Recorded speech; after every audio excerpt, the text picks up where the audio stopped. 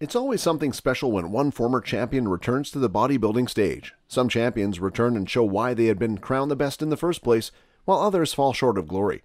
Let's take a look at the greatest Olympia comebacks ever. Number 7, Arnold Schwarzenegger, 1980. Since emerging on the bodybuilding scene in the late 1960s, Arnold Schwarzenegger has become one of the most influential and inspiring athletes in bodybuilding. What bodybuilder or even general fitness enthusiast doesn't know of Schwarzenegger? Even if you've never picked up a weight, you probably know of the Austrian native as a bodybuilder, movie star, politician, or environmental activist. He's so popular that you can refer to him as just Arnold, and most people know who you're talking about. Since retiring in 1980, Arnold has cast a long shadow and is still revered for his importance in helping to popularize bodybuilding among the masses. From 1970 to 1975, Arnold won six Mr. Olympia titles. After the sixth win, he retired to focus on his then burgeoning movie career, which includes hits like Conan the Barbarian, Twins, and the Terminator series. He moved to greener pastures, or so it seemed. In 1980, Arnold shocked fans and competitors alike when he announced, the day before the Mr. Olympia contest, that he was making a comeback. The reactions were mixed. Competitor Mike Mentzer was furious and even tried to attack Arnold at a pre contest press conference.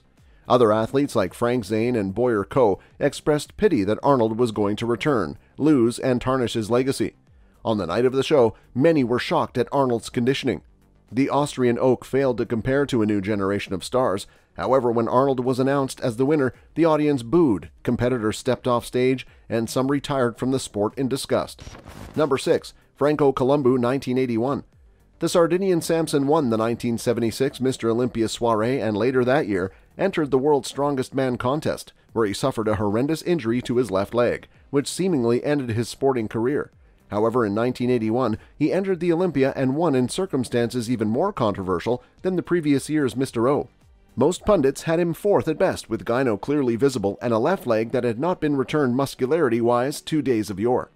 Most saw the contest between Chris Dickerson, Danny Padilla, and Tom Platz, but Columbu surprised us all.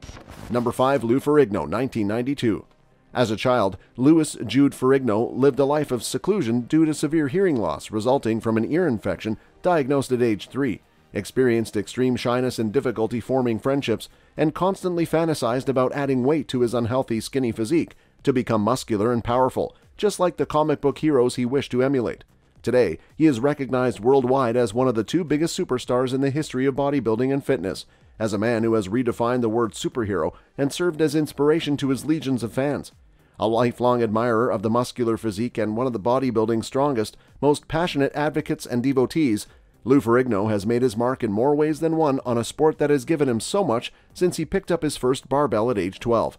First of all, there is his bodybuilding career, the only man to have won the IFBB Mr. Universe twice consecutively in 1973 and 74, and at 6 feet 5 inches and 21 years old, the tallest and youngest man ever to do so.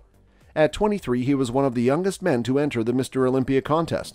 The 1975 Pretoria, South Africa affair, famously documented on the 1977 landmark production and cult bodybuilding movie Pumping Iron. After placing third to his boyhood idol and the most famous bodybuilder of all time, Arnold Schwarzenegger, at the 74 Olympia, Lou parlayed the massive look he had attained he was at the time the most muscular man in the world at 285 pounds cut into a Hollywood career and instantly became the most recognizable bodybuilder in the world, as fittingly, one of the comic book heroes he had dreamed of becoming as a youth, the Incredible Hulk.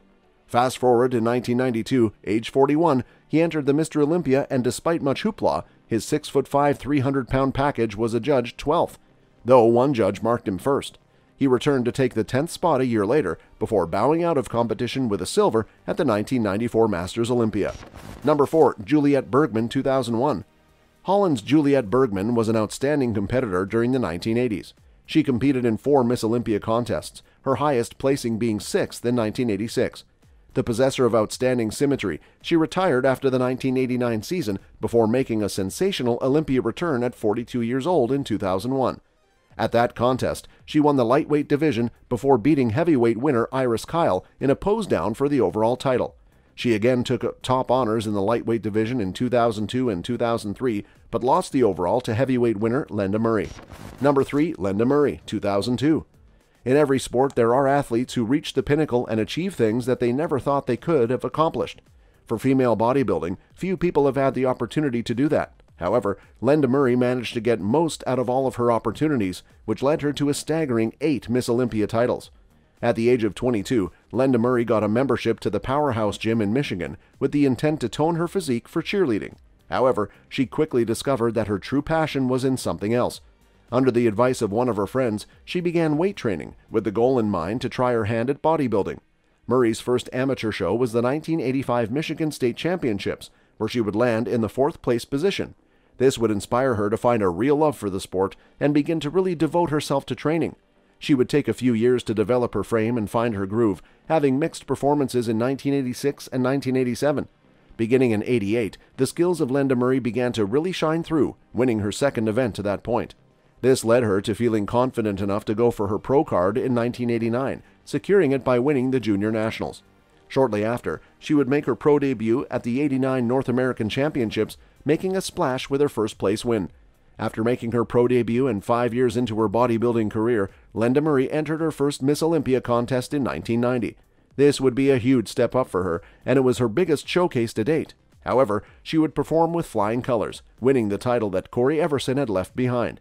Fast forward, having won six successive Miss Olympia titles, 1990 to 95, Lenda Murray then finished runner up to Kim Chizevsky in 1996 and 97. She returned in 2002 to win the heavyweight and overall Miss Olympia titles, a feat she repeated in 2003. She bowed out in 2004 after taking the heavyweight runner up spot behind Iris Kyle, who won the overall.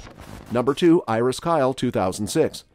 Having won the overall at the 2004 Miss Olympia, Iris Kyle promptly finished second to Yaxeni Oriquen a year later.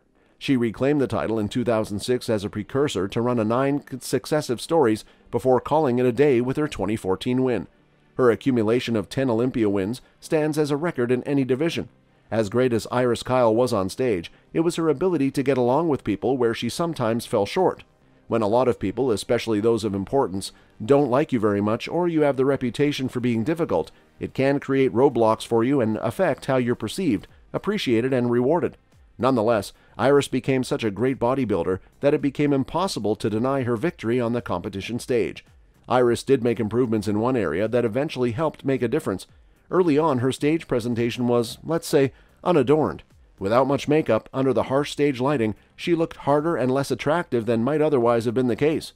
We noticed over time Iris was spending a lot of time with Dayana Cadeau, a lightweight Miss Olympia, who always looked attractive on stage.